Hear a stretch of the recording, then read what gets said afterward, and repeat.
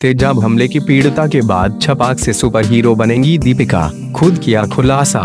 दीपिका पदुकोण भी फ़िल्म निर्माता बन गई हैं।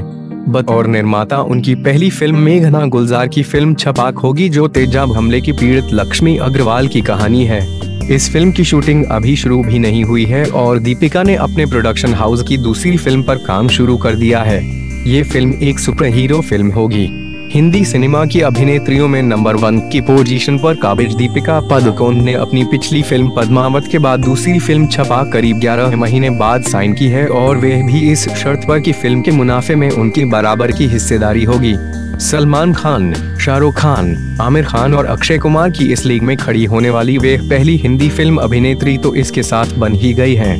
दीपिका अब अपने प्रोडक्शन हाउस को सिर्फ़ फ़िल्मों में पार्टनरशिप तक सीमित नहीं रखना चाहती दीपिका के एक करीबी सूत्र ने अमर उजाला को बताया कि दीपिका के प्रोडक्शन हाउस में पैसा लगाने के लिए तमाम बड़े कॉरपोरेट हाउसेज ने दिलचस्पी दिखाई है, लेकिन वे अब जो भी फ़िल्में करेंगे, उनकी स्क्रिप्ट से लेकर फाइनल कॉपी तक दीपिका हर विभाग में शामिल रहना चाहती हैं, जिस सुपर हीरो फ़िल्म के लिए दीपिका ने हाँ की है उसके लिए सही टीम चुनने का काम दीपिका खुद कर रही हैं।